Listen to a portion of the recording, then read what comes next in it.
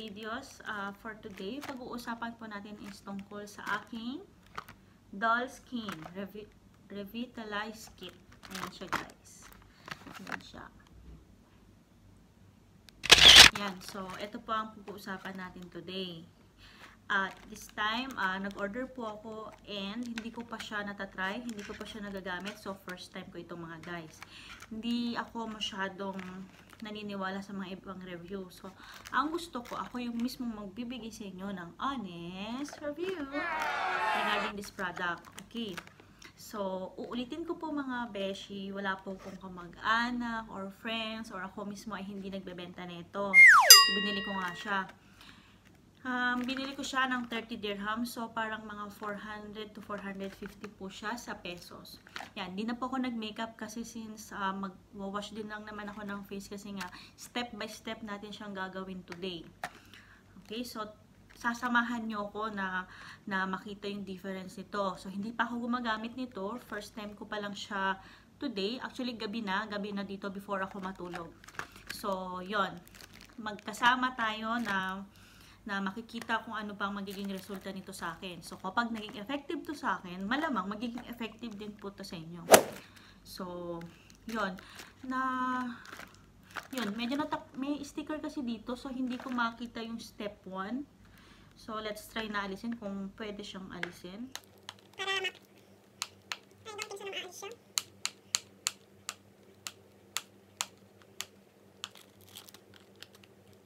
Yun guys, so ayaw siyang maalis. Yan guys, so na naalis ko na yung sticker niya dito. So pwede nating basahin to step by step. Okay, so ang first step po natin is um, So ang first step po natin mga sis, mga best is Doll Skin Premium yung soap muna daw. Use it in the morning and at night as your daily cleanser. Apply to damp face and lather 2 to 3 minutes before rinsing and pat dry with the clean towel. So, ang sabi po dito, gagamitin siya morning and evening. Okay? Kailangan everyday yun mga besh. Tapos, kailangan mag uh, inano, anuhin mo siya sa face mo, ilalagay mo yung soap and 2 to 3 minutes na parang uh, ilalather mo siya. And then, i-rinse mo siya at saka pupunasan mo siya ng towel. Yun yung first step na ating gagawin. Second is yung Doll Skin na Revit Revitalized Toner. So, yung toner ang next na gagamitin.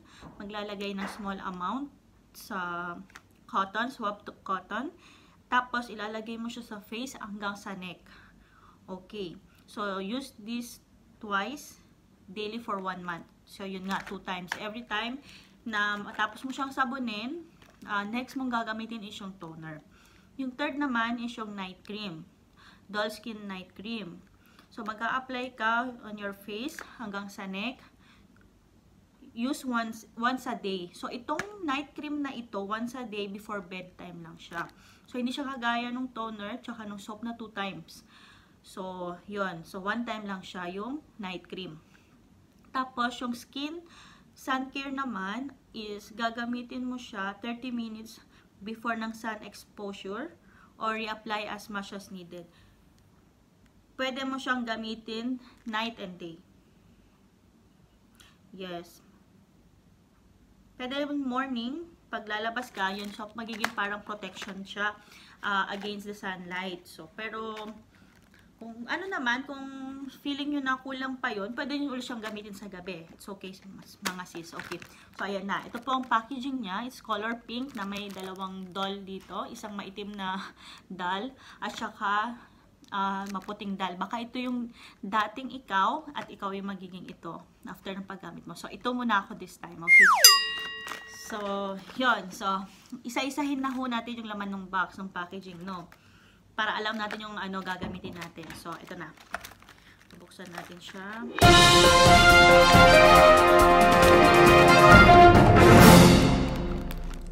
Ito na siya. So, umpisahan natin siya sa soap. Ito po ang kanyang soap. Yan. Yung maputing dal yung nakikita ho natin dito. Tapos ito yung dating maitim siya. Ito maputi na siya. So, tignan din natin yung laman niya since itusera o susera o susera naman lang din tayo. So, check din natin kung paano ang laman niya. Ayun. So, yung color ng soap is white. Hmm, mabango siya. Gusto, maganda ang amoy niya. Fairness. Fresh na fresh ang amoy mo after mong siya gamitin. So, ayan siya. Color white soap. And nakapa nakapackaging pa rin siya ng plastic sa loob. So, hindi na muna natin siya aalisin. Okay? And then, um, next is, ito yung night cream. Yan siya. Check natin yung loob niya, mga sis. Yon. Super cute, guys. Meron pa siyang spoon na maliit. Char, kukutsarahin. Gaganitahin natin siya. Pero I think ito yung pang scoop mo para alam mo yung amount na nilalagay mo. Though wala naman siyang nakalagay na maximum and minimum na scoop. Pero I think ito yung pang open mo. Actually, hindi ko alam guys kung para saan to spoon. Baka ito yung pang open mo. Yan. Kasi dali ko siyang nabuksan eh. Yan na. So, oh. Ang kulay niya sa loob is color leche, leche flan. Yan, color ganyan siya. Dilaw siya mga sis. Dilaw. Yellowish siya. Para siyang, alam niyo yung nasa braso de Mercedes, yung nasa loob niya na parang caramel. Ito siya sis. Yan. So, ito po yung ating um, night cream. So, ito po siya. Panggabi lang to siya. Hindi sinabing two times for this to use. So, panggabi. Since gabi po ngayon, gagamitin po natin siya tonight. Uh, after ko masabon yung face ko, tsaka after ng toner. Okay. And then, next is sun care. Ito na yung um, parang ano natin. Pang umaga, pang before, ayan, may SPF pala siya mga guys. May SPF. And then, uh, instant glossy white skin matte finish. Okay, so let's see guys kung ano itsura nito sa loob ha. Baka naman ibang kulay nito. Baka magkakaiwa sila. Tsaka kaya ako naman ginawa tong ano na to, video na to para parehas nating malaman ang katotohanan sa kabila ng paggamit ng doll skin na set na ito. Okay? Ayun. Guys, kung yung ating uh, night cream is color yellow, ito naman pong ating sun care is color white. Yan. Super white niya mga beshi. Eh, tsaka pero yung texture niya parang super cream. Ayan siya oh. Alam niyo yung ano, yung cheese, white cheese, mga ganon. Yung uh, parang Lebanese cheese, parang ganon siya mga beshi. So, we're done with that. Dito na tayo sa toner. Ayan guys. Ayan. Revi revitali revitalize toner. Ayan siya. Dull skin. So, ito yung pinaka-toner niya, which is gagamitin natin after ko maglagay ng soap sa mukha. So, umpisahan na natin ang journey na to mga beshi. Sasamahan nyo na rin ako sa paghihilamos. Baka kasi may multo sa CR besh. Char. Okay, pero since sinabi ko nga, uh, magkasama po tayo sa journey na ito, na kung makikita nyo naman kung ano magiging development na sa akin, kaya masasabi nyo talagang honest review siya. Okay guys, so tara sabahan nyo namin, pasensya na lang kayo kung pangit at maliit lang po ito. Okay, let's go! So, ayan mga guys. So, dito na po tayo sa aming CR. So, ayan na. Ah, uh, ayan. Ayan yung sabon. So, gagamitin na po natin siya. Okay. So, dapat hahatiin siya eh. Kaso, dahil hindi ko na siya mahati, wala akong time para manghati. So, ayan. Gagamitin na natin siya directly na ganito sa face. Okay. So, samahan niyo po ako. Pugasan ko muna yung kamay ko para sure na malinis. So, yan. Yan siya, guys. Okay, so, babasahin ko po muna yung mukha ko.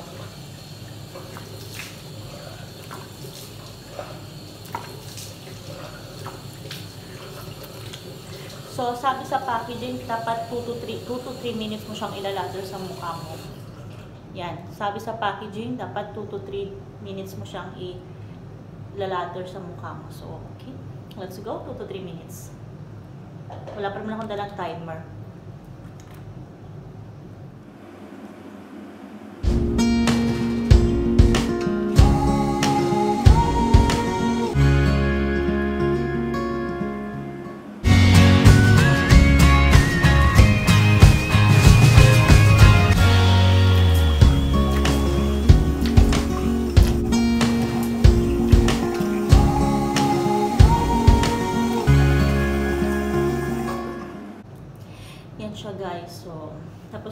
Maghilamos. Okay, so tapos na natin siyang gamitin. So, ikikip ko lang siya dito sa um, washroom. So, yun. Tapos ko na siyang gamitin guys. Okay, so, punta tayo ng next step and babalik na po tayo sa aking mahiwagang kwarto. Okay? Tara! Hi guys, so nakabalik na po tayo. Ayan, katatapos lang natin maghilamos. So, damp with cloth, what, uh, cloth, uh, clean cloth, sorry. So, ito na siya. Ayan, may tips ako sa inyo mga guys ah. So, kapag uh, magamit po kayo ng tuwalya after maligo, or pag ganito, nagdadamp kayo ng cloth sa mukha ninyo, huwag nyo siyang i-scrub ng ganito. Huwag nyo siyang i-scrub ng ganyan. Kasi na, na yung pores natin, nagagasgasan sila. So, yung tendency is nag-open yung pores.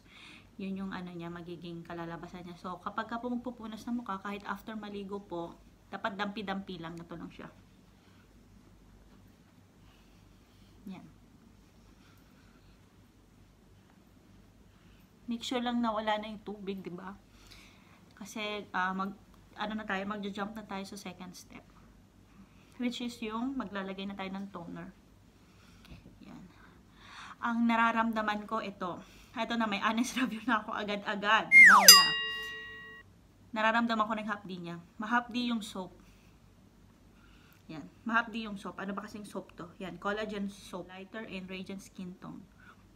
Okay, so it's a collagen soap, mga best. Okay? Yan, go. Yung iba pa nga, alam nyo, yung mga ibang tao na talagang super, ano sila sa skin nila, super ingat sila sa skin nila, hindi rin sila nag-ano ng face, hindi rin nila ipinapadampi sa towel.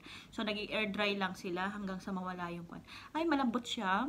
Okay, first time ko, pero naralambutan na ako sa kanya. Pero mahapdi siya. Nararamdaman ko yung pores ko na mahapdi siya. So, ayan. Uh, ito po ang ginagamit kong, uh, ayun, ito po yung ginagamit kong cotton. Okay, 100% cotton po siya. Pero pwede naman kayong gumamit ng kahit na ano. Pero dahil maarte ako, ito po yung gagamitin ko. So, yan siya. Maganda kasi ito pang alis ng nail polish, mga besh. Maganda siya, tsaka madali siya makaalis ng uh, nail polish, okay? So, ang sabi, ang, uh, as per the box, ayan, guys, hindi ako nagtapon ng box ngayon, hindi ng mga nakaraan na, ano, ha, na honest review ko na hindi ko masyadong ma-explain kasi wala na yung box. Kasi hindi ko naman alam na in the future magbibigay pala ako ng honest review. So, ayun yung box. So, let's go to the, ito yung step 1. So, let's go to the step 2. Sabi sa step 2 ay yung Uh, yan, about the toner na siya. Yan, pero guys, hindi po ako mag, uh, ano ha, maglalagay sa neck, sa face na lang po tayo, ha. Kasi baka, kasi, ayun, nga pala, meron pa akong trivia sa inyo. Alam nyo ba na yung skin natin sa neck is manipis? Iyon, uh, may mga circumstance, may mga time na okay ilagay sa face pero hindi pwedeng ilagay sa neck. Nagkaka-allergy siya, which is na-try ko na. Uh, actually, hindi sa, hindi sa dull skin ko siya na nasubukan. Uh, nasubukan ko siya sa An alam niyo po ba yung ano, yung sabon na Koji-san? Yun. Paglalagay ko siya sa neck ko, nangangati yung uh, neck ko. So, ayoko siyang i-try na ulit kasi ayoko na magkaroon ng rashes sa leg. So, okay, let's go on. Let's move on with the toner po. Ito siya. Ayan. Ayun, yung isang maitim tsaka isang maputi. Ayan. So, okay. Siguro, let's try na, oh, dalawa lang muna ang patak. 1, 2. Ah, hindi. Hindi siya kaya. Kukunti siya. 3, 4, 5, 6, 7. Let's try 7 lang muna na patak. As in, patak talaga siya. Kaunti lang siya. Konti-konti. Okay, so let's try. Dito muna tayo sa malapad kong noo. Yan.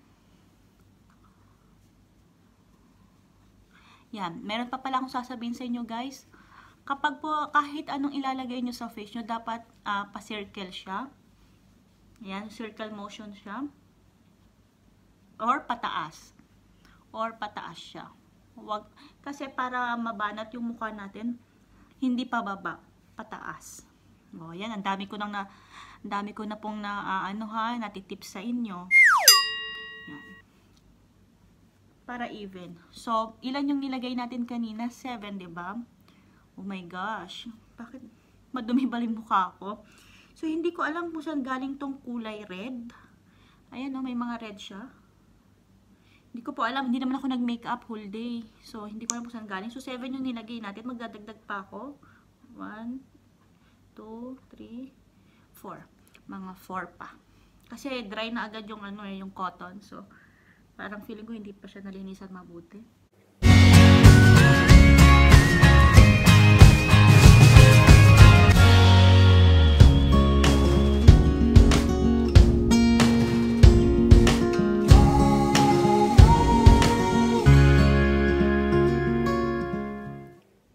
So, ayan na siya guys.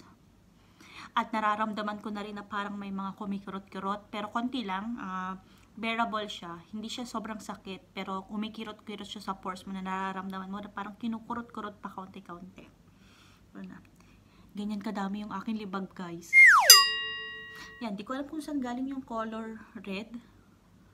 Na para siyang hibla ng damit. Pero hindi naman kasi wala namang hibla ng damit sa mukha ko. Ayan siya guys oh.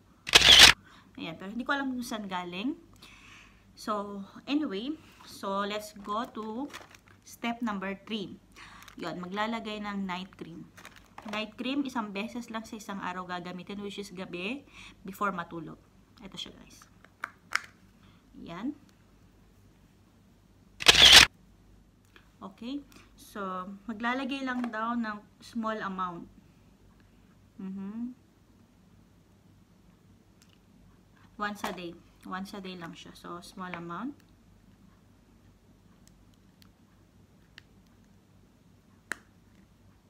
So, ayan na siya. So, gamitin na natin yung kutsara. kutsarita. Baka pang kutsarita talaga ito. So, ayan. Maglalagay tayo dyan. Dyan. Dyan sa malapad kong noon na pwede nang maging airport. At sa baba. Okay. So, ano natin siya ha? Ilalapat na natin siya sa buong mukha. I-apply na po natin siya. Okay. So, pwedeng dalawang kamay yung gagamitin. Pwede din namang isa. So, either each way po, okay lang. So, akin, dalawa yung gagamitin ko para mas mapabilis siya tsaka evenly yung pagkakahalo niya sa mukha ko. Okay. So, umpisahan na natin. I'm so excited. Baka gumanda po kasi ako. Ayan na. So, go.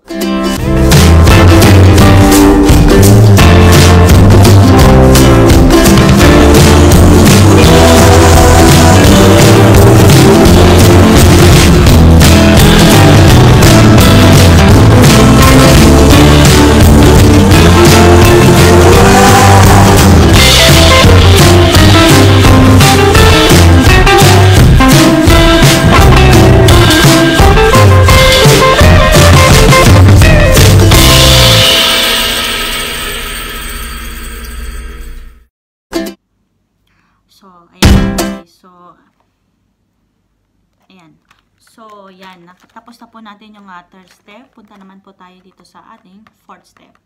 So, fourth step naman, mga guys, is yung ating sun care. So, para, ito may SPF 30. And then, pwede dull skin, oh sorry, skin revitalizing toner and dull skin night cream at night for added protection. So, pwede mo rin siyang ilagay for added protection. Pero, since gusto nga natin ng mabilis ang effect, so pwede din natin siyang gamitin na today, now, kahit gabi. So, two times na rin natin siyang gagamitin. Though, hindi naman siya recommended na dapat two times kasi, ano, pang, uh, ano lang naman to, pang care lang naman to sa, uh, parang sunscreen siya, yun.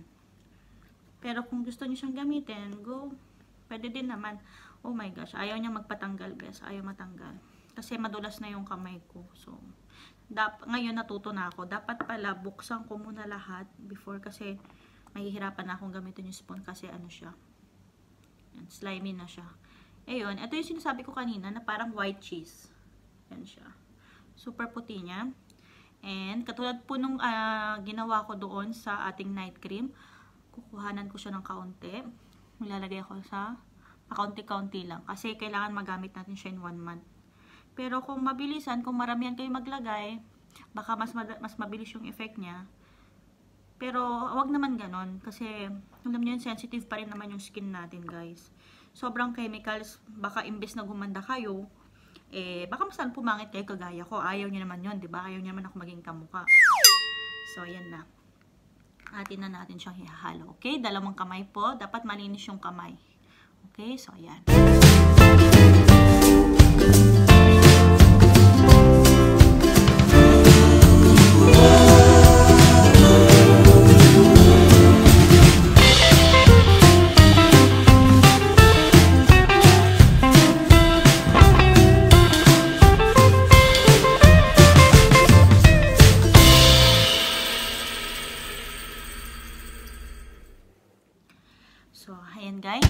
Finish na nating ah, ilagay yung mga ang mga products sa akin, which is yung first is yung soap. Naghihilamos tayo using that soap. And then, um, second is the toner. Third, yung night cream. At saka yung last is yung sun care. Okay? Ah, bibigyan ko lang po kayo ng iba pang ah, nakasulat dito sa box, which is a disclaimer po. Yung the seller of this item is not a dermatologist. He's not an even an expert in skincare. So, yon Sabi po dito ay hindi naman po dermatologist ang gumawa nito. yon Kaya, hindi rin po siya expert sa skincare. So, bakit ganun? Gumagawa siya ng sabon ng mga cream, hindi naman pala siya dermatologist. Okay? And then second is we aim to provide the best-selling beauty products and depend our judgments which products to sell by reviewing the feedback or user researching the product online. So, ito, ang sabi niya sis is uh, gumawa nga siya ng isang best-selling beauty product and you, as a result po, ah, malalaman nyo kung gaano, ah, pwede mo siyang i-judge at malalaman mo kung, ah, kung gaano siya ka-effective okay, by uh, reviewing pa- parang galing sa mga reviewers at saka sa mga nagfi-feedback or sa mga users o sa mga nagre-research about this product, doon nyo lang malalaman ang magiging resulta nito. So, parang hindi rin sure yung gumawa nito kung, para, kung lahat ba ng tao is magiging effective to.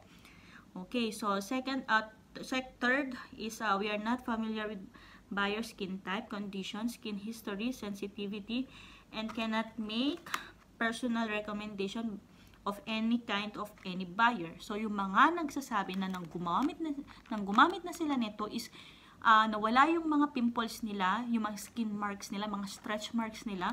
So, parang parang hindi nila pwedeng sabihin na ito yon na okay, sige, siguro sa skin type nila, ah, parang gumaling sila using this item. Pero hindi nila pwedeng i-recommend sa mga kapwa tao nila na kapwa naghahanap din ng um, magiging gamot sa sa skin, skin problems nila itong product na to kasi mismong yung nagmanufacture ng item na to is hindi nila recommend to sa kahit na anong skin problem Okay, lalong-lalo na at hindi naman familiar yung gumawa nito uh, regarding your skin type. May mga skin na super, super sensitive. May mga skin na parang balat kalabaw na okay lang kahit sobrang, you know, sobrang um, malakas na yung chemical na ginamit is hindi sila na-affect, na-affected.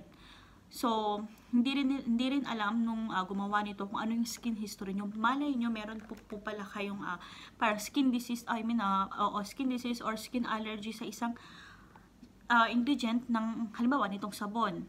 So may ingredient tong sabon na hindi pa pwedeng mukha mo. So hindi alam 'yun nung gumawa nitong product na to. So hindi mo sila pwedeng sisihin in case na may mangyaring hindi maganda. Okay? Kasi wala namang namirit sa'yo na bumili nito. And a risk lang, 'yon. You just take risk na bumili nito na baka sakali na yun nga na ma-solve yung yung inyong problem, yung mga skin problem. So, yon ingat lang kayo guys. Alamin nyo muna yung mga ingredients kung okay ba kayo doon. Basta ako, hindi ako nag-check kung okay ba yung ingredients. Pero go push, push, push. Kasi nga mag-a-honest review nga ako. So, yeah. We are not uh, liable for negativity or damage result by uh, damage results that may be obtained by a proper or improper use of this product of any person. So, ang sabi ay hindi na nila kasalanan. Ganon. hindi na nila kasalanan kung, kung may damage result ba uh, ang product na ito sa gumamit. Ma- might be proper or improper yung use niya. Tama o mali ba yung pagkakagamit nito, nitong product, is hindi na nila problema yon Problema mo na yon na magpagamot at alamin ang solusyon once nasira ang iyong face do. Okay? So, yun ang sabi ng gumawa nito, ng nagmanu- nag-manufacture nito. So, yun guys. So, tapos na tayo for tonight. Tapos na ang ating ah, kabanata. Ah, ang masasabi ko lang, ah, samahan niyo po ako. Kung talagang interesado kayo na malaman ang magiging resulta, samahan niyo po ako sa aking journey na ito. So, hanggang dito lang muna. I mean, this is my first day. Ito lang muna yung aking uh, vlog Ito lang muna yung aking i-review. So, wala naman kayo nakitang pandaraya kasi kung ano man yung mga nakalagay sa mga product na to, yun lang naman yung in-apply ko. At hindi muna ako gagamit ng kahit na ano, like glutathione, hindi na muna. Pero may vitamin C ako. So, yun, gagamitin ko lang yung aking uh, vitamin C along with this product para malaman natin kung talagang effective siya. Kasi pag pinaghahalo-halo nyo pa yung mga ginagamit nyo, hindi nyo na alam which one yung talagang nakakatulong sa inyo. So, yon uh, hindi muna hindi ko muna ipapakita yung result until uh, third day. So sa third day, doon ko na ipapakita kung ano yung naging epekto niya for the meantime. And then after third day is seventh day. Ayun. So talaga makikita na natin yung effect niya siguro within 7 days. Which is sabi naman dito, uh, one month usage What it means is that one month usage yung product na nakalagay dito. Hindi naman niya sinabi na in one month mo pa makikita yung resulta. Oh, by the way guys, meron akong nakita. So, meron siyang manufacture date at saka meron siyang expiration date. Alamin natin ha. Hmm, yon So, 2019 siya nagawa. Okay. And 2021 yung expiration. Means 2 years ang kanyang before siya ma-expired upon manufacturing date. So, okay. So, dalawang taon din So, pwede mo rin, pwede ka rin palang mamili ng parang, parang uh, one full box, mga, parang halimbawa 12, 12 pieces as a stock para hindi ka laging bili ng bili kasi matagal naman palang expiration niya. So guys, uh, that's it for tonight. Ayan po ang, ang kanyang kinalabasan.